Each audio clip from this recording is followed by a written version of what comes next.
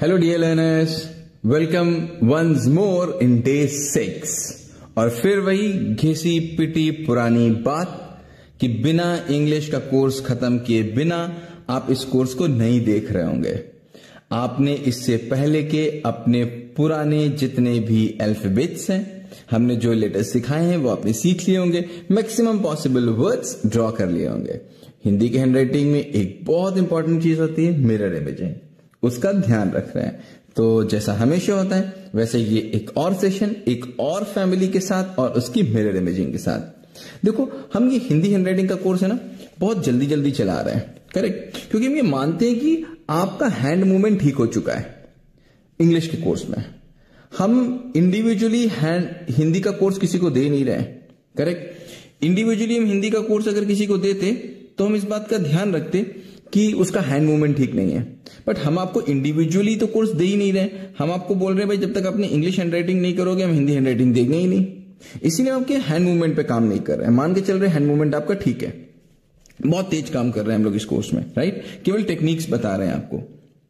देखिए, हमको ये बनाना है। मिरर इमेजिंग के साथ। ये आपका हैंड मूवमेंट ठीक करेगा। ये मैग्नेट समझिए मैग्नेट्स होते ना?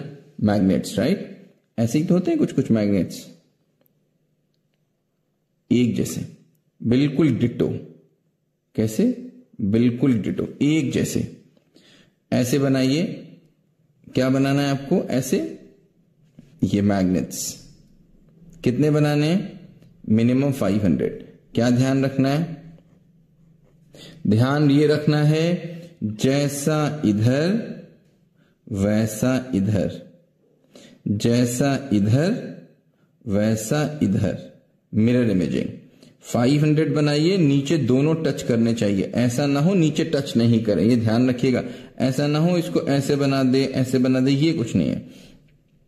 ऊपर से टच करके ला रहे हैं, नीचे टच हो रहा है। ऊपर से टच करके ला रहे हैं, नीचे टच हो रहा है। करेक्ट ऊपर से टच करके ला रहे हैं, नीचे लाइन टच कर रही है। ऊपर से टच करके ला रहे हैं, नीचे लाइन टच कर रही है। ऊपर से टच करके ला रहे, नीचे लाइन टच हो रही है। ऊपर से टच करके ला रहे, नीचे लाइन टच हो रही है। 500 सेट्स बनाइए। जब तक ये 500 सेट्स न बना ले, आप प्लीज़ आगे नहीं बढ़ेंगे। क्योंकि अगर आप आगे बढ़ेंगे तो फिर हम आपकी मदद नहीं कर पाएँगे। डे सिक्स पार्ट वन यही खत्म होता है। डे सिक्स पार्ट टू के लिए हम फिर मिलते हैं। Thank you so much have a great day ahead